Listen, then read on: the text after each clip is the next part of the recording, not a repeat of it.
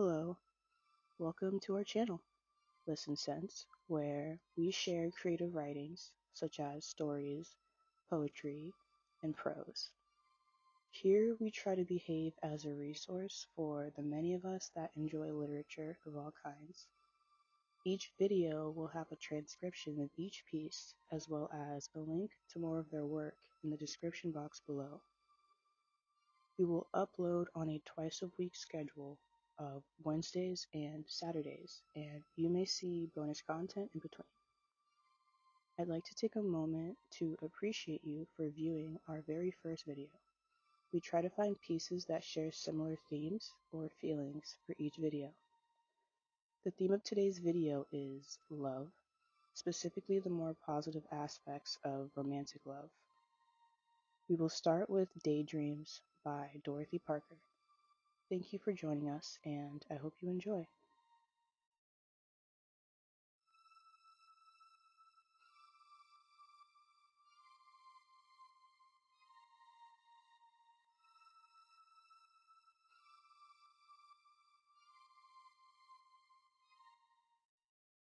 We'd build a little bungalow if you and I were one, and carefully we'd plan it so we'd get the morning sun. I'd rise each day at rosy dawn and bustle gaily down. In evenings cool, you'd spray the lawn when you came back from town. A little cookbook I should buy your dishes I'd prepare, and though they came out black and dry, I know you wouldn't care. How valiantly I'd strive to learn, assured you'd not complain, and if my finger I should burn, you'd kiss away the pain. I'd buy a little scrubbing brush and beautify the floors I'd warble gaily as a thrush about my little chores. But though I'd cook and sew and scrub, a higher life I'd find. I'd join a little women's club and cultivate my mind. If you and I were one, my dear, a model life we'd lead. We'd travel on from year to year at no increase of speed. Ah, clear to me the vision of the things that we should do. And so I think it best, my love, to string along as two. This next piece is also by Dorothy Parker. It's called Ballad at 35.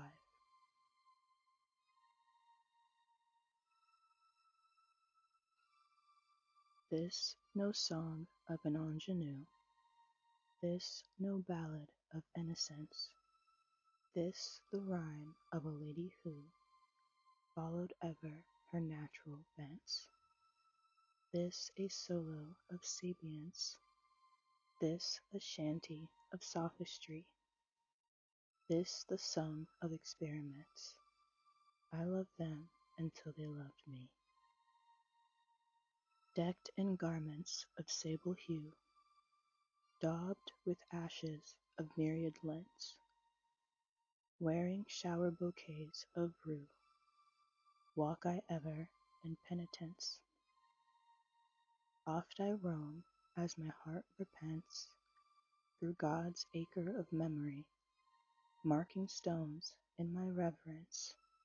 I loved them until they loved me.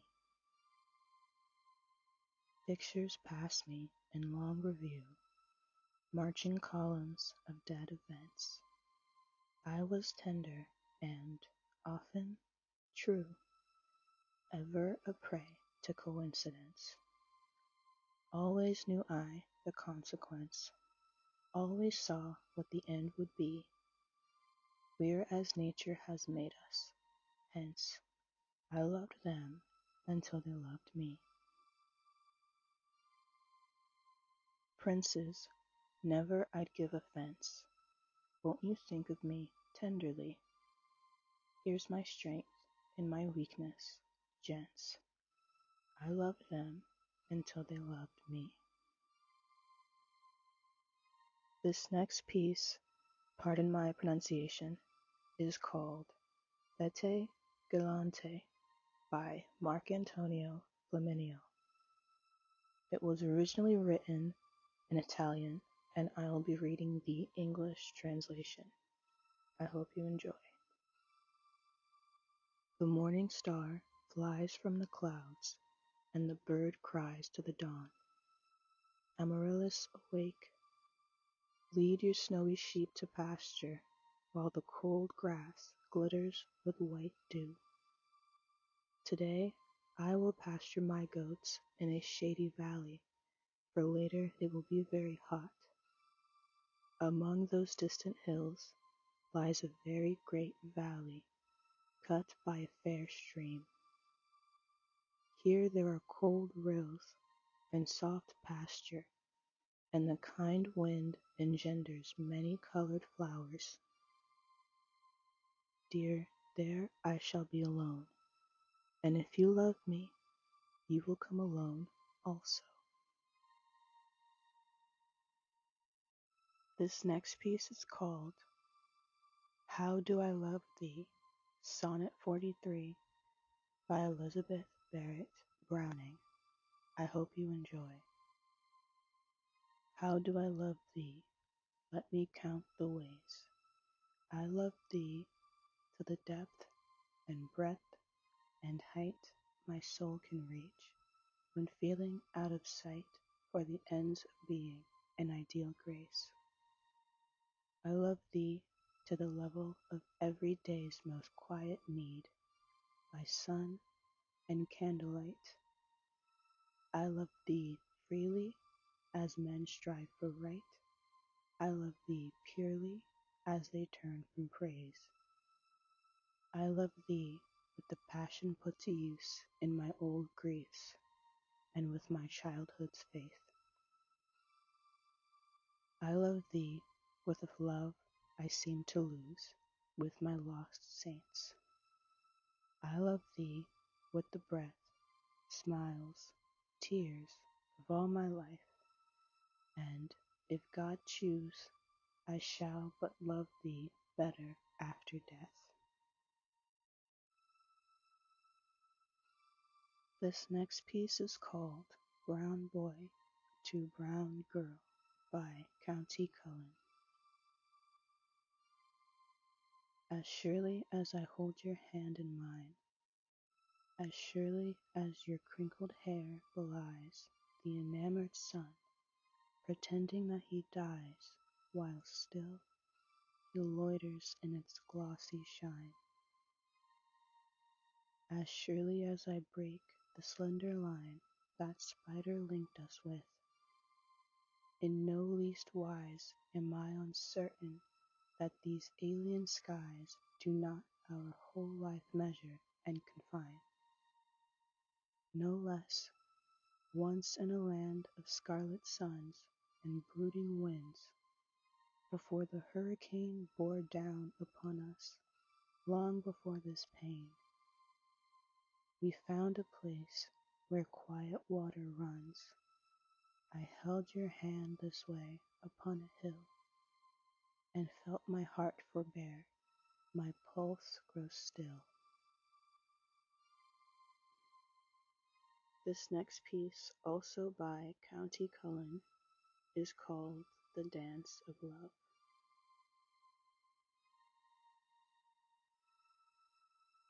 All night we danced upon our windy hill, your dress a cloud of tangled midnight hair, and love was much too much for me to wear my leaves. The killer roared above his kill, but you danced on, and when some star would spill its red and white upon your whirling there, I sensed a hidden beauty in the air. Though you danced on, my heart and I stood still. But suddenly a bit of morning crept along your trembling sides of ebony. I saw the tears your tired limbs had wept, and how your breasts heaved high, how languidly your dark arms moved. I drew you close to me. We flung ourselves upon our hill and slept. This next piece is called A Line Storm Song by Robert Frost. I hope you enjoy. The line storm clouds fly tattered and swift. The road is forlorn all day, where a myriad snowy quartz stones lift and the hoof prints vanish away. The roadside flowers, too wet for the bee, expend their bloom in vain. Come over the hills and far with me, and be my love in the rain. The birds have less to say for themselves in the wood world's torn despair than now these numberless years the elves, although they are no less there.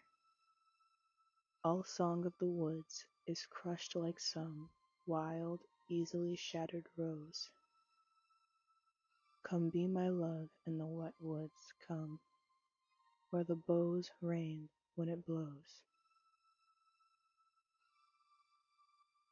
There is the gale to urge behind, and brute are singing down, and the shallow waters a flutter with wind from which to gather your gown.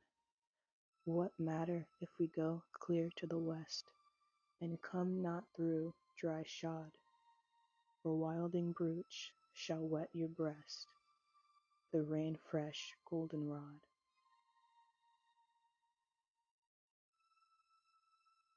Oh, never this whelming east wind swells, but it seems like the sea's return to the ancient lands where it left the shells before the age of the fern. And it seems like the time when after doubt our love came back amain. Oh, come forth into the storm and rout, and be my love in the rain. And for our final piece, this one is called On Love by Kahlil Gibran and I hope you enjoy. Then said Almitra, Speak to us of love. And he raised his head and looked upon the people, and there fell a stillness upon them. And with a great voice he said, When love beckons to you, follow him, though his ways are hard and steep and when his wings enfold you, yield to him. Though the sword hidden among his pinions may wound you, and when he speaks to you, believe in him. Though his voice may shatter your dreams, as the north wind lays waste the garden. For even as love crowns you, so shall he crucify you. Even as he is for your growth, so is he for your pruning. Even as he ascends to your height and caresses your tenderest branches that quiver in the sun, so shall he descend to your roots and shake them in their clinging to the earth. Like sheaves of corn, he will gather you onto himself. He threshes you to make you naked. He sifts you to free you from your husks. He grinds you to whiteness. He kneads you until you are pliant. And then he assigns you to his sacred fire so that you may become sacred bread for God's sacred feast. All these things shall love do unto you, that you may know the secrets of your heart, and in that knowledge become a fragment of life's heart.